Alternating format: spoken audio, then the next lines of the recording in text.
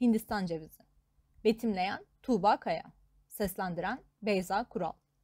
Görselde beyaz bir zemin üzerine konumlandırılmış iki bütün ve bir yarım Hindistan cevizi görülüyor. Bütün olan Hindistan cevizleri yan yana, yarım olanı ise tam önlerinde duruyor. Hafif elips şeklindeki bir karıştan daha büyük olan meyvenin dışı kahverengi. Dış katmanı kalın olan bu meyvenin yüzeyi ipliksi fakat odunsu bir yapıyla kaplı.